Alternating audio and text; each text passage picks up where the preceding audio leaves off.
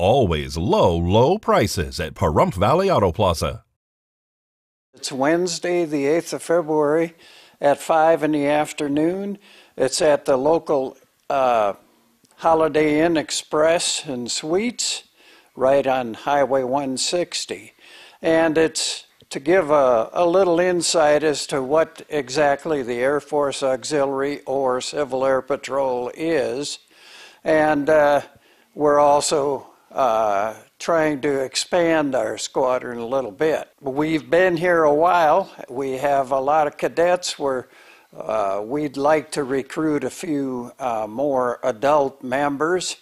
And uh, the uh, Civil Air Patrol, of course, has three missions. One is aerospace education of both cadets and adults.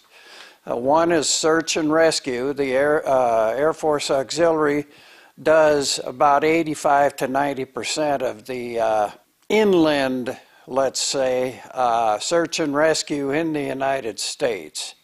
So we're, we do have a pretty big local mission but it sometimes expands to be regional or even more. Uh, so hope to see you tomorrow evening at the Holiday Inn Express on the 8th of February at 5 p.m. And if people need more information, who can they call? Uh, they can call me uh, 520 280 2573. And so that's tomorrow at 5 p.m. at the Holiday Inn Express. Yes, Wednesday, the 8th of February at 5 p.m.